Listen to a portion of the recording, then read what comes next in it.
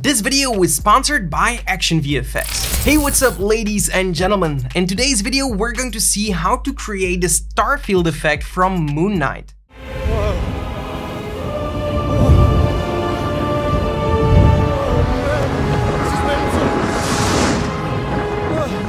You may have seen this effect pop up on social media already, but it's pretty cool and I wanted to recreate this using Adobe After Effects. If you want, I will provide you with all the files necessary in order to achieve this effect. Using the link in the description below, you can download all of these. And without further ado, let's open up Adobe After Effects and get started. Alright, so here we have our footage.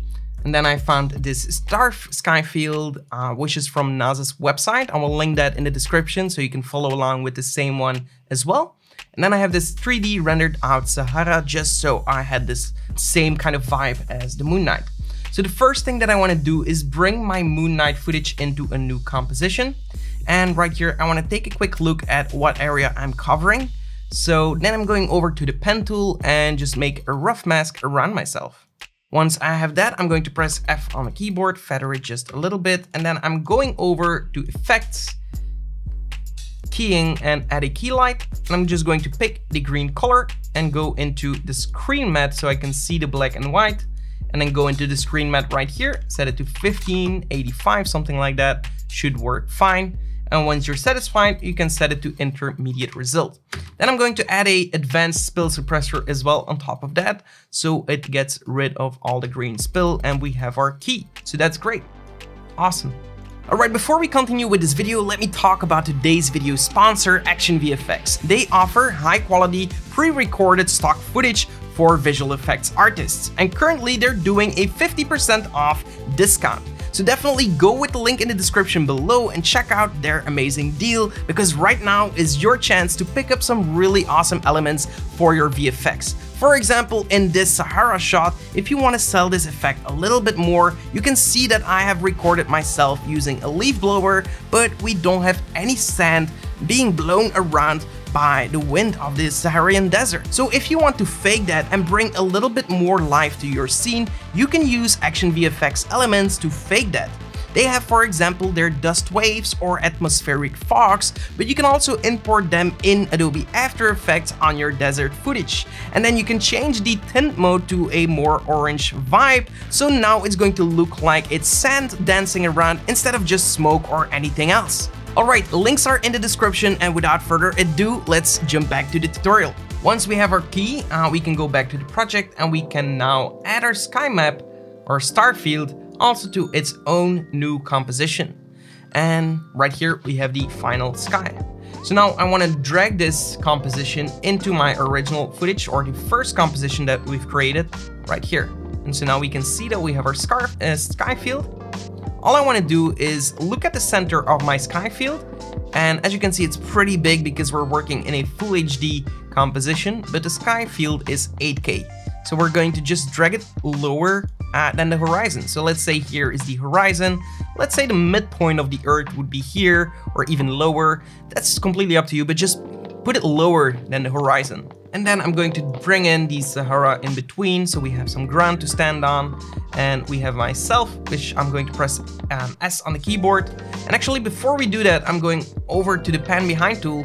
I'm going to bring uh, the center point right here in between my feet so I can press S on the keyboard and scale myself according to the scene. So that's this looks pretty cool.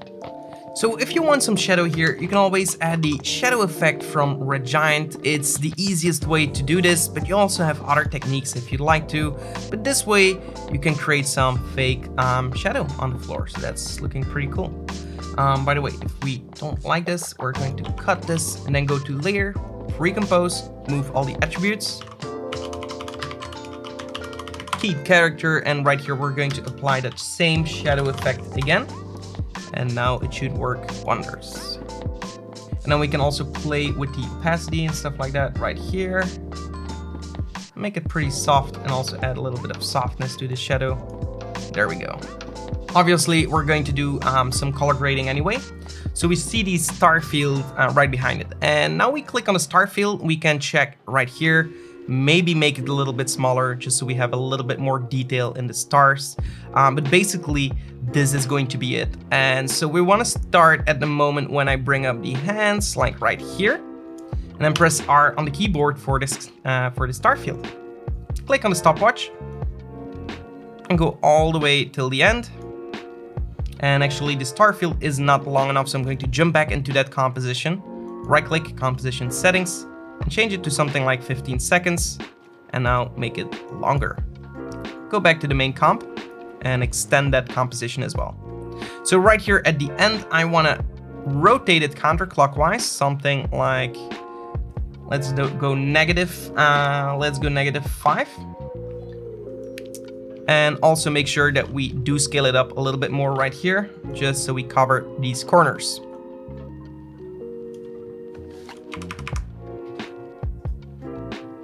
And so once you're satisfied with this, let's take a look.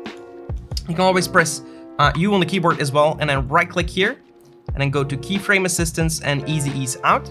And that way it's going to start slowly and it's starting to rotate the background. So now for the cool part to make this work is to duplicate the background or the star field. And then I'm going to solo this for now. And all I'm going to do is go all the way till the end. Uh, press U on the keyboard and click on this rotation uh, so both of the keyframes are highlighted. Make sure you're standing on one of these keyframes and now if you offset this, it's going to have different looking results, but it's going to have the same speed.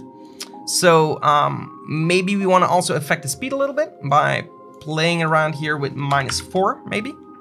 So it's going a little bit slower because these are closer to the camera and they're going to have more perspective. And we can also add a curves here uh, to add a little bit more contrast. So we have more just of the fewer particles or, or fewer sky, um, well, stars. And then if you change the blending mode to a screen, you're going to start seeing a little bit more, uh, especially if you unsolo this, we're going to start seeing a perspective change in the stars. And that's exactly what's happening in the series as well. Some of them go faster, some of them go slower. So maybe we want to bring this to even minus 3 at the end, and so you get a lot of perspective change. We can duplicate this even once more, press R on the keyboard, and then go to one of these keyframes, and then click on the rotation, play around with the, um, with the differences here, and maybe this time we want to go for minus 7. And like that, you're going to start uh, creating some yeah, very specific uh, depth in your star field. Like right here, you can definitely see that some of them go faster than the other ones. And so the more you're going to do that, the more variation you're going to get. The most important is that your top layers are in a blending mode of screen with a lot of contrast and the bottom layer stays at normal with the contrast that you want in the final result to be. So now we have something like this. And if you want, you can select these first keyframes, go into the graph editor and even extend this more. So it starts even slower. So now if you want those strokes that you also see in the series, we can also do that using a ellipse tool. And for the fill, I'm going to set it to none. And then for the color, I'm going to set it to white. And for the stroke, maybe something like 20 pixels, that should be all right. Now we can create this kind of circle and if you want, you can now uh, press S on the keyboard, click on the scale, and then go like one second or like half a second, let's say. And just scale it up quite a bit. And then go back to one second and use the same keyframe. So now what you can do is hold Alt and click on the stopwatch for scale, and then go in here and click the arrow, property, and then loop out which is just going to loop our animation over and over and over again. So now it's going to scale up, scale down, scale up, scale down, scale up, scale down. That's perfect. So what we can do with this, uh, and actually you can go to the first keyframe and scale it even, well, down further. What we can do with this is add an echo effect. So we are going to add the echo effect, set the copies to six, and now we get something like this. And especially I solo this, we can see what is going on. So I'm not digging this because it doesn't come back to its original state. So I'm just going to copy the first keyframe and paste that one here. So now it's going to have this type of animation. So that's looking pretty cool. Um, I'm also going to play here with decay. So we have a little bit of a fade out. And if you want, you can also add a fast box blur to blur it just a little bit like that. And if you play with blending modes like additive, and put that also in the background, you're going to start getting that line that uh, they also use in the series. Uh, obviously, you can make it bigger, smaller, uh, whatever floats your boat. And then also, I just moved it over to one side because we only have one side to show.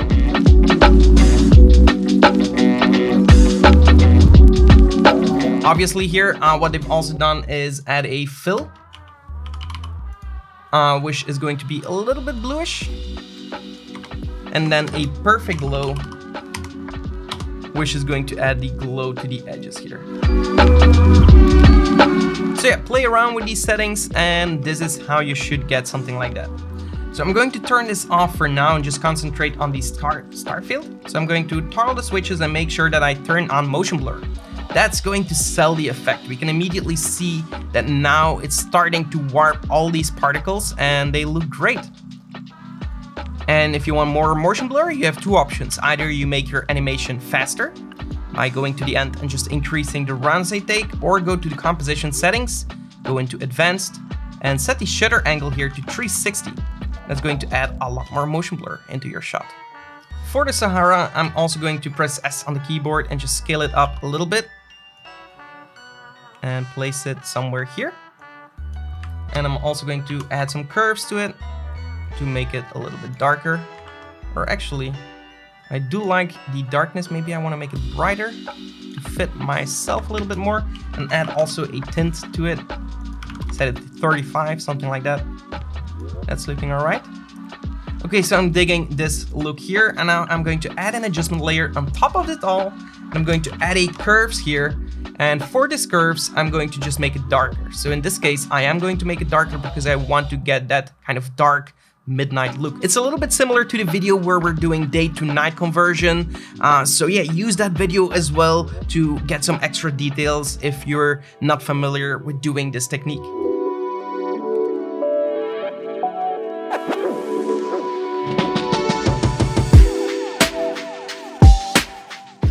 You can also add an adjustment layer just on top of these uh, star fields so you can increase the brightness over there, see what works, what doesn't, play around a little bit with all these things.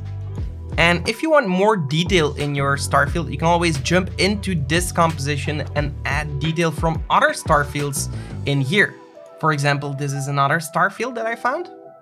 I'm just going to mask out this part and press F on the keyboard and then scale or change the blending mode to screen, add some curves to it, and maybe rotate it into position, scale it down a little bit. But like this, you get some even more variation in there, and you're going to get it into your final shot right here.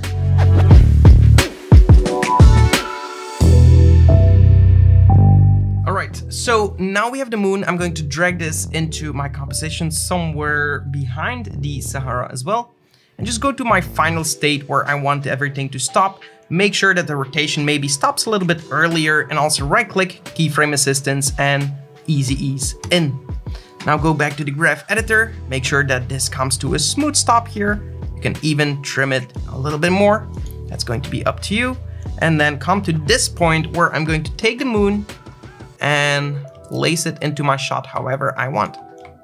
So let's say you want to have a big moon coming here into the center of your shot. So all we have to do now is parent this to the star field, one of them, and now it should rotate with that. So we are going to extend it a little bit. And so now it's rotating and once it gets clipped off, we can just trim our layer because it's not visible. And so now it's just going to come to a smooth stop with the moon being in the final shot here. Alright, so that's it on how to create the star field effect from the Moon Knight. And here you have the final result. Enjoy!